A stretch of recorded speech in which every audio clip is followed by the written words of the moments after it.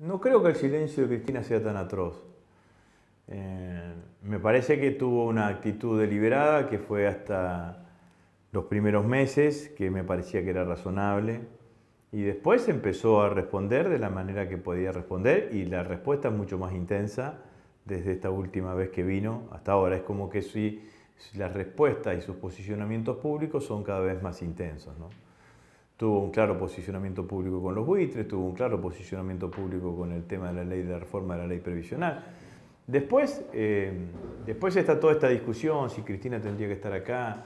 Cristina habla con una cantidad de dirigentes que son, que, con los cuales interactúa, interactúa permanentemente.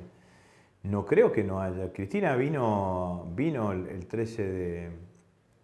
La primera vez que vino y se reunió con la, casi la totalidad de los intendentes de la provincia de Buenos Aires, estaban casi absolutamente todos. A ver, yo creo que hay que ser, ponerse los pantalones largos. Entonces, si un dirigente dice yo me voy porque Cristina no me, no me conduce, eh, porque está en el calafate, entonces es que sí, bueno, eso es mentira. Decir por, por qué te va, decir por qué te querés ir, digamos, no, no, no busques un argumento que es poco, que es poco razonable. ¿no?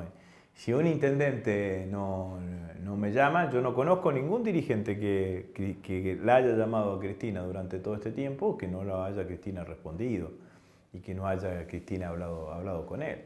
Entonces me parece que hay argumentos que lo que buscan es justificar alguna posición política que está definida previamente y que entonces eh, por eso buscas el argumento más simpático. Ni siquiera el problema es que los intendentes y los gobernadores tengan buenos diálogos con sus gobernadores, los intendentes nuestros, en el caso que somos provincias que no son gobernadas por nosotros, o los gobernadores con el presidente. El problema es definir una estrategia política si la estrategia del intendente o del gobernador, que gobernamos las provincias chicas, es tener buena relación con el poder central, porque esa provincia no tiene los recursos suficientes como para poder administrar, es razonable, que tiene un punto de razón. Lo que no puede ser esa la estrategia del espacio político en su conjunto, porque el espacio político tiene que ser opositor, porque el espacio político tiene que aspirar a recuperar el poder, porque no me imagino al peronismo siendo acólito del PRO, no me imagino al peronismo siendo la tercera pata de Cambiemos.